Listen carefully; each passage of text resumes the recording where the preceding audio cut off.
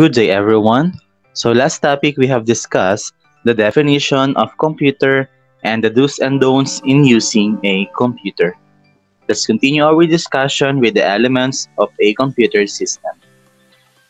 So, a computer system has six important elements the people, the software, the hardware, the data, connectivity, and procedure. Let's start with the first one the people. People are the most important element of a computer system. They run and operate the computer. They build and improve computers.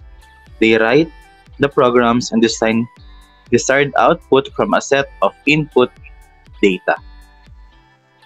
Next one is the software. Software are programs or instructions that a computer must follow to do its task. The purpose of software is to process data into useful information for people. Next one is the hardware. Hardware are the physical components that you can feel and touch. Hardware includes the CPU, the mouse, the keyboard, the printer, speaker, and the monitor. The hardware needs software to function properly. Fourth one is the data. It includes text and numbers, sounds, images, and video that we input into the computer for processing.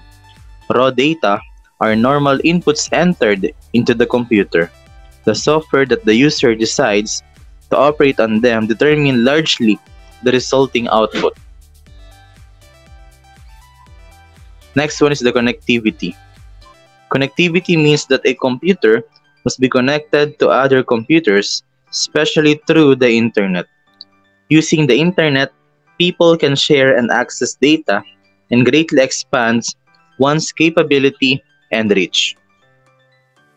The last element of a computer system is the procedure. Procedures are step-by-step instructions to follow when using hardware, software, and data. The procedures are normally written in manuals of hardware and software manufacturers. These are written by computer specialists and are shipped together with the computer product in printed or electronic form.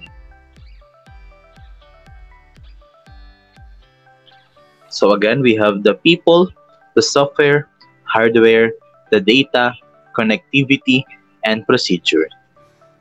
That is the six important elements of a computer system. On our next topic, we will discuss the advantages and disadvantages and the 10 commandments of the computer ethics. Thank you and God bless.